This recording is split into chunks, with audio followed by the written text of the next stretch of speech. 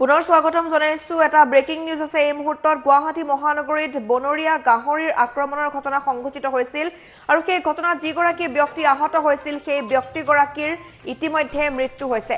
এটা শোকাবহ ঘটনা সংঘটিত হৈছিল। গুৱাহাটীত বনৰীয়া গাহৰিৰ যি আক্ৰমণ সংঘটিত হৈছিল গুৱাহাটী মহানগৰীৰ আমবাৰীৰ স্থিত প্ৰেছ ক্লাবত আৰু চিকিৎসালয়ত সেই ব্যক্তিগৰাকীৰ মৃত্যু হৈছে।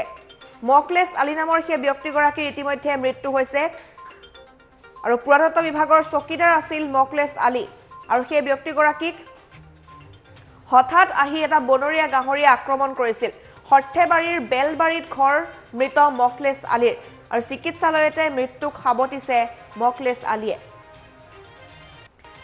আমবাৰীৰ গুৱাহাটী প্ৰেছ ক্লাবত সংঘটিত হৈছিল এই অঘটন। চি চি টিভিত সকলোবোৰ দৃশ্য বন্দী হৈছিল।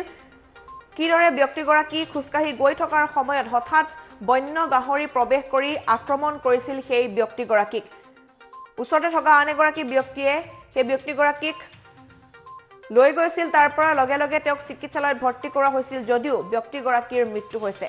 সেই দৃশ্য আমি পুনৰবাৰ দেখুৱাইছো সেই ব্যক্তিগৰাকীক কিদৰে বনৰীয়া গাহৰিয়ে আক্ৰমণ কৰিছিল।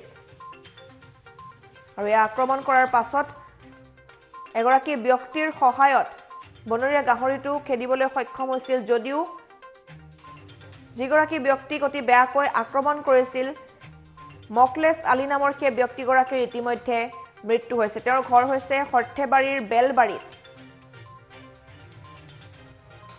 আৰু আমবাৰী গুৱাহাটী প্ৰেছ ক্লাবত এই ঘটনা সংঘটিত হৈছিল। দিন দুপৰতে হঠাৎ ক'ৰ পৰা সেই বনৰীয়া গাহৰিয়ে প্ৰৱেশ কৰিছিল সেয়া বৰ্তমানেও কোনেও গম পোৱা নাই। হঠাৎ আহি ভিতৰত প্ৰৱেশ কৰি সেই ব্যক্তিগৰাকীক আক্ৰমণ কৰিছিল বনৰীয়া গাহৰিটোৱে আৰু সেই ব্যক্তিগৰাকীৰ ইতিমধ্যে চিকিৎসালয়ত মৃত্যু হৈছে। তেওঁ পুৰাতত্ব বিভাগৰ চকীদাৰ আছিল।